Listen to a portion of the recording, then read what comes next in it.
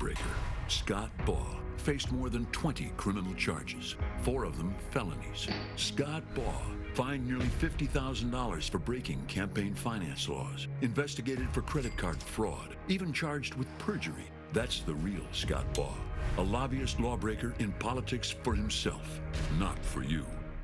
This is what voting yes on Prop 31 means. Yes on 31 ends the sale of candy flavored tobacco products. Yes stops big tobacco from targeting our kids. Yes protects kids from nicotine addiction.